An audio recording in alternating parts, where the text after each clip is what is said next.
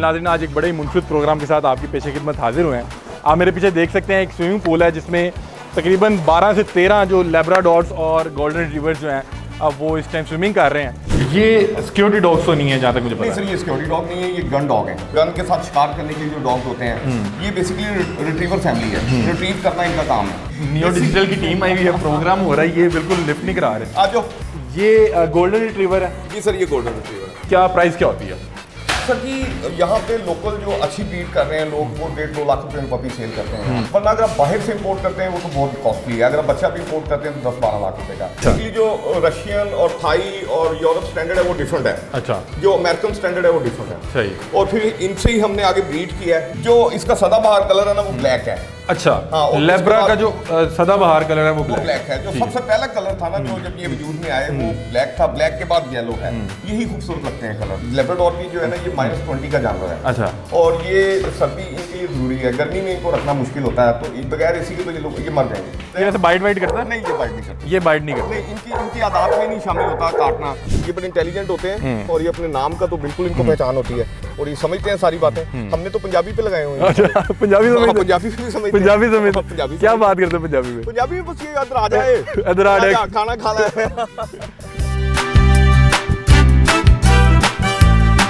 असलम नाजरीन मैं हूँ आपका मेज़बान अली हमजा और आप देख रहे हैं न्यू डिजिटल नाजरीन आज एक बड़े ही मुनफरद प्रोग्राम के साथ आपकी पेशे खिदमत हाजिर हुए हैं। आप मेरे पीछे देख सकते हैं एक स्विमिंग पूल है जिसमें तकरीबन 12 से 13 जो लेब्राडॉर्स और गोल्डन रिवर्स जो हैं अब वो इस टाइम स्विमिंग कर रहे हैं। आ, ये इस वक्त मौजूद है इम्तियाज़ शाह साहब के घर जो कि गो, गोल्डन रिट्रीवर और लेब्राडॉर्स का शौक़ करते हैं।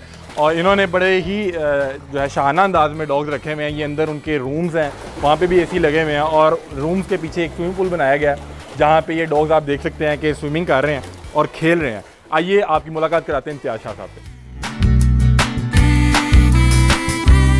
अस्सलाम वालेकुम। इम्तियाज़ भाई कैसे हैं आप? ठीक है आपकी अलहमदिल्ला अल्लाह का शुक्र वेलकम सर वेलकम। इम्तियाज़ भाई कितने डॉग्स हैं आपके पास इस वक्त? सर जी मेरे पास अभी ना थर्टीन डॉग्स हैं। अच्छा और कौन कौन सी किस्म के हैं? सर जी हमारे पास दो ही हैं एक लेब्राडोर रिट्रीवर हैं जो मैंने शुरू से रखे हैं। उसके बाद मैंने अब गोल्डन रिट्रीवर इंपोर्ट किए हैं।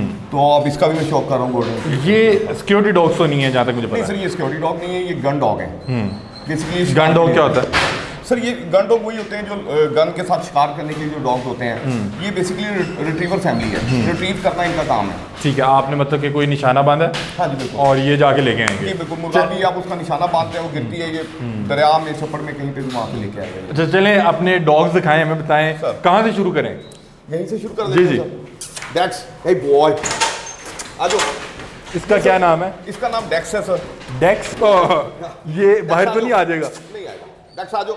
गुड बॉय ये गोल्डन रिट्रीवर है। जी सर ये गोल्डन रिट्रीवर है। और ये मेल है फीमेल है? सर ये मेल है। ये इंपोर्ट किया हुआ है? ये सर बिल्कुल Import किया जो एज है ये थ्री ईयर है। और ये जब 18 महीने का था जब हमने इंपोर्ट किया था ना तो अभी ये गोल्डन रिट्रीवर है अमेरिकन गोल्डन रिट्रीवर इसको कहते हैं। ये अमेरिका से इंपोर्ट हुआ? है नहीं सर ये अमेरिका से नहीं इंपोर्ट हुआ ये चाइना से इंपोर्ट हुआ है। अच्छा। क्योंकि अमेरिका से जो है ना हमारे पास डायरेक्ट नहीं आ सकते इंपोर्ट नहीं होते। अच्छा। कनेक्टिंग फ्लाइट्स हैं वो डॉग नहीं देते। अच्छा मुझे ये बताएँ कि मैंने सुना है कि लेब्रा और जो गोल्डन रिट्रीवर्स हैं ये एक बड़ी लग्जरी प्रोडक्ट है और ये बड़े महँगे होते हैं। तो इसकी क्या प्राइस क्या होती है? सर जी यहाँ पे लोकल जो अच्छी ब्रीड कर रहे हैं लोग वो डेढ़ दो लाख रुपए में पपी सेल करते हैं यहाँ पे ना जो अच्छे ब्रीडर्स हैं।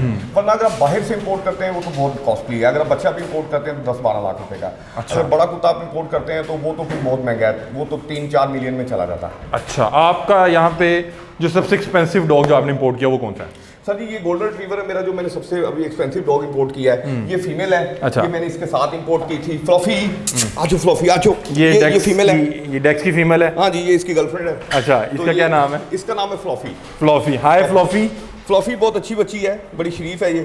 फ्लॉफी गुड गर्ल फ्लॉफी आ जाओ ये पेयर आपको टोटल कितने में पड़ा जब आपने इसको इम्पोर्ट करवाया? सर देखें ये प्राइसलेस चीज़ें हैं इनकी कोई कीमत नहीं होती। फिर भी मतलब कि बहुत से लोग होते हैं जो चाहते हैं कि वो भी करें तो सर ये पेड़ जो है ना मैंने कुछ तकरीबन सेवन मिलियन के राउंड इंपोर्ट किया था। 7 मिलियन, जी, 70 seven लाख के करीब। हाँ जी और ये जो है पाकिस्तान में फ़र्स्ट टाइम जो अमेरिकन गोल्डन रिट्रीवर मैंने इंपोर्ट किए हैं। अच्छा। तक दोबारा कोई इंपोर्ट नहीं हुआ मतलब कि पाकिस्तान में इससे पहले गोल्डन रिट्रीवर इंपोर्ट नहीं हुआ। नहीं गोल्डन रिट्रीवर इंपोर्ट हुए मगर अमेरिकन गोल्डन रिट्रीवर नहीं इंपोर्ट हुए। अच्छा। बेसिकली जो रशियन और थाई और यूरोप स्टैंडर्ड है वो डिफरेंट है। अच्छा। जो अमेरिकन स्टैंडर्ड है वो डिफरेंट है। सही। और फिर इनसे ही हमने आगे ब्रीड की है।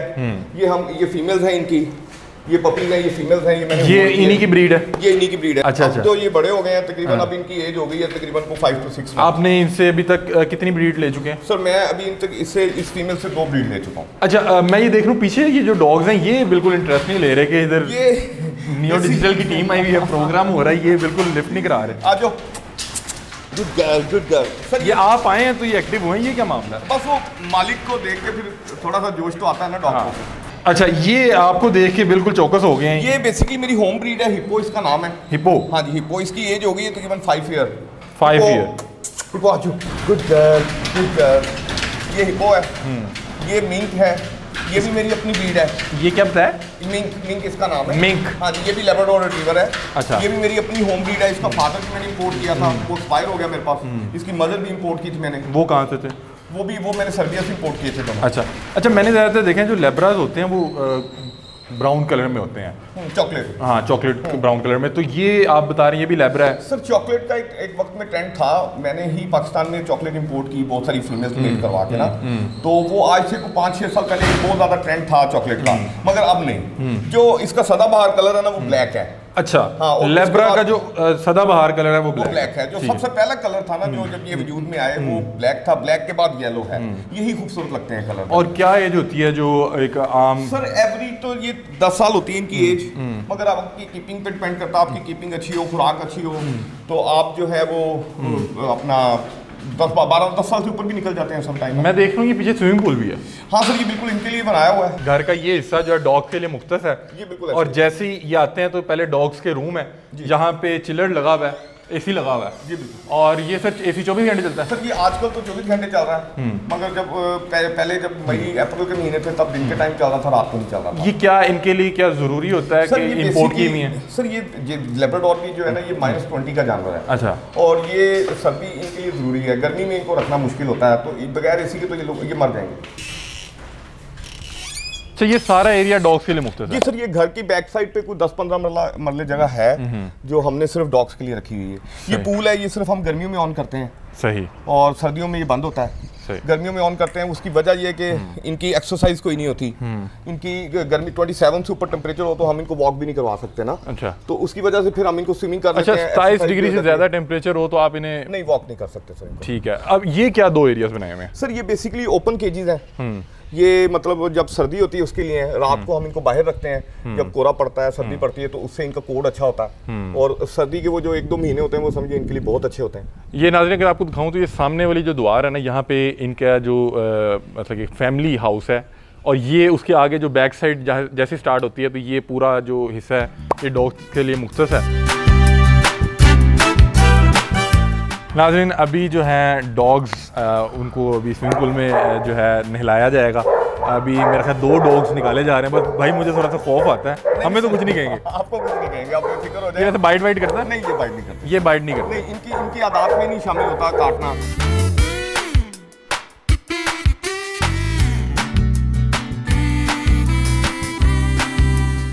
बेसिकली बचपन से ट्रेन है ये छोटे बच्चे थे जब हमने इंपोर्ट किए थे। ये दोनों बच्चे जो है ना पोलैंड से आए थे। अच्छा पोलैंड हाँ से। पोलैंड से। ये अभी भी बच्चे हैं। ये भी बड़े नहीं हुए फुल ग्रूम नहीं हुए ये ना।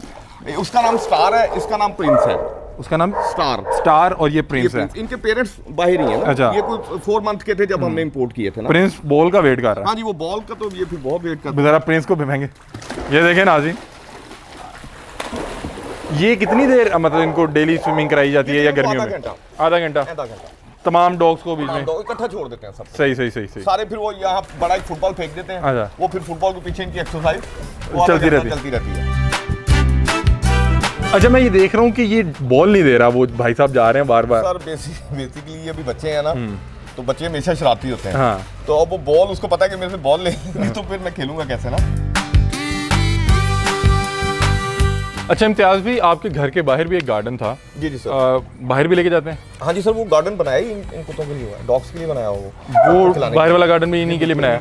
बाहर लेके जाते हैं? जी, बिल्कुल। अभी हम ले जा सकते हैं? बिल्कुल ले जा चलाएँ फिर चलते हैं बाहर चलते हैं। नो नो गुड बॉय गैक्स आओ आ जाओ आ जाओ चलो चलो। बाहर जा रहे हैं हम लोग? बाहर जा रहे हैं सर बिल्कुल। ये कौन कौन सा है? सर ये ये ये डेक्स है? ये डेक्स है वो फ्लॉफी है। अ, ये वही कपल है जो बाहर से आया था। ये कुछ कहेगा तो नहीं बस। कुछ नहीं कुछ नहीं कहेगा चले आए। बाहर चलते बस बस सर बस बस मेरा पुत्र बस।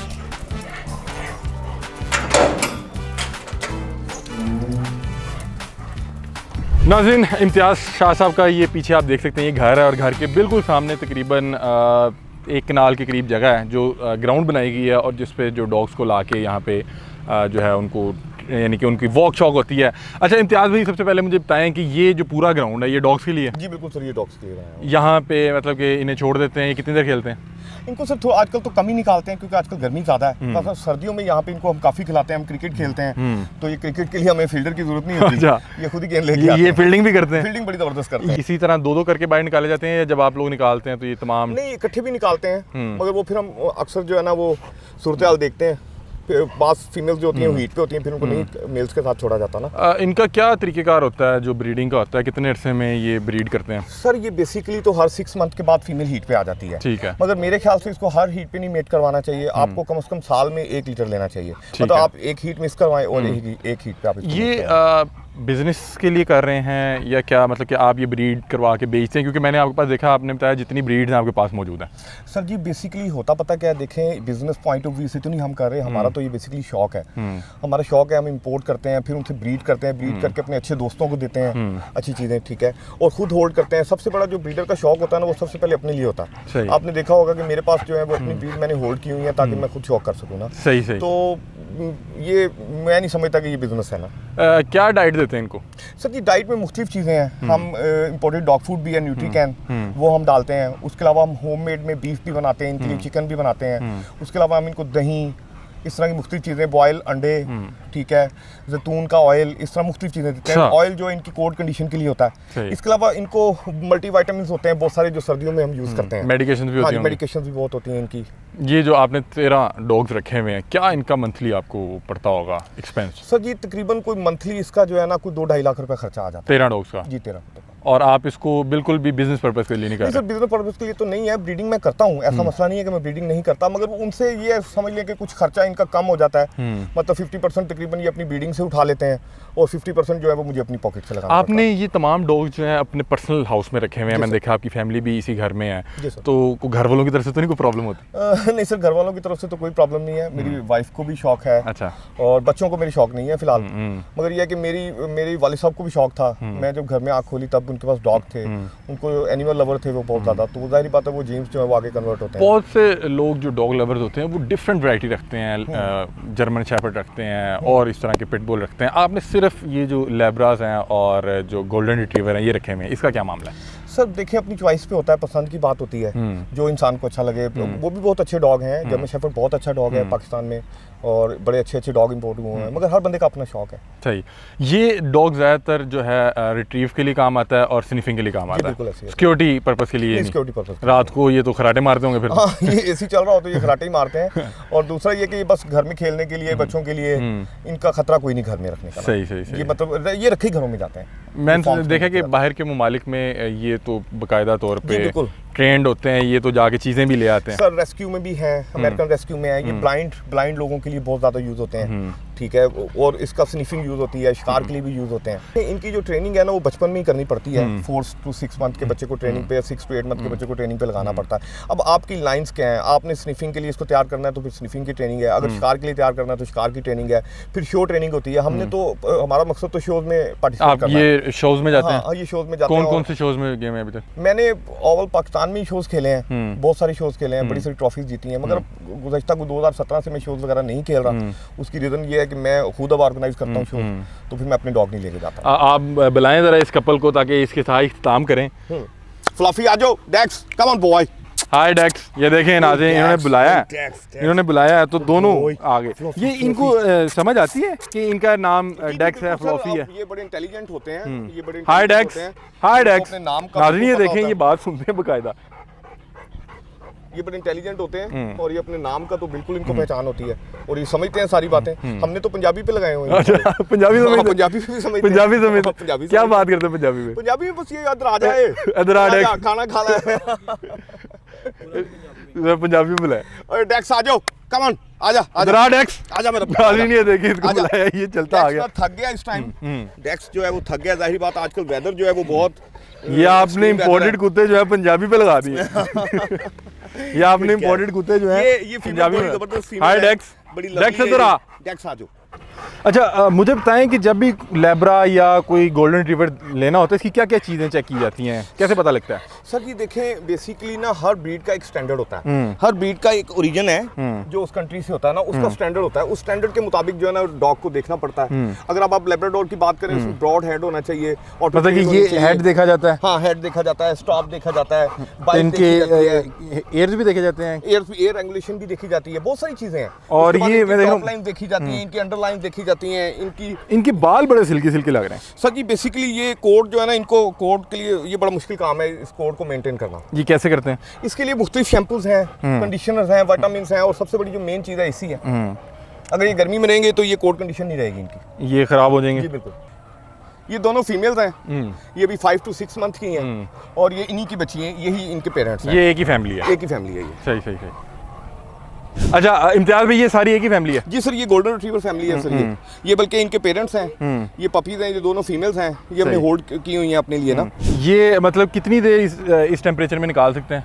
नहीं सर ये अब तो इनकी एंड हो गई है बस ये दस मतलब इससे ज़्यादा जो है ये निकाल सकते हैं। आजकल तो वैसे ही हबस का मौसम है तो ये तो बहुत खतरनाक है इनके लिए ना। नाजरीन वैसे भी अबस का मौसम है और मैं नहीं चाह रहा कि इनकी इतनी एक्सपेंसिव डॉग है वो परेशान हो। तो ये इम्तियाज़ भाई थे और इम्तियाज़ भाई के डॉग्स जो इनका शौक है वो आज आपके साथ शेयर किया। अ, इन्होंने गोल्डन रिट्रीवर्स और लेबराज रखे हुए हैं और इन्हें बड़े, जो है, शहाना अंदाज में रखे हुए हैं। यहाँ पे इनके बाकायदा रूम्स हैं, शीशे वाले, वहाँ पे एसी लगे हुए हैं। इनको यहाँ पे स्विमिंग पूल की सहूलत मौजूद है।